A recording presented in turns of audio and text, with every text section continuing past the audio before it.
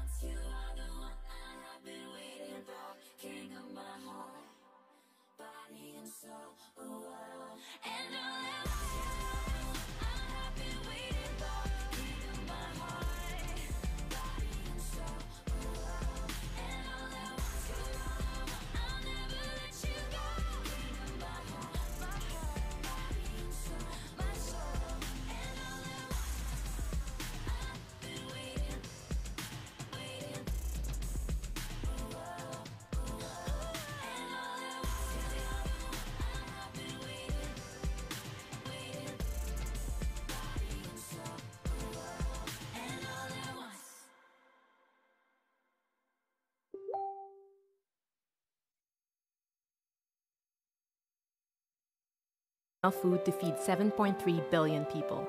But not everyone has access to proper nutrition.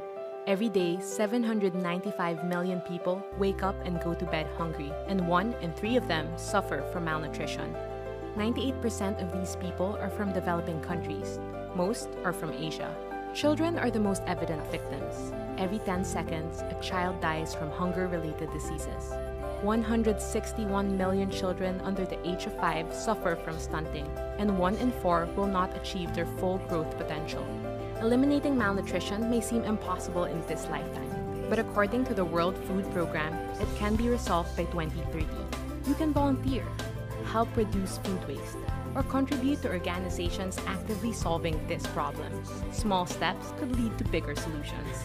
If the issue of hunger can be solved within our lifetime, wouldn't you be willing to help?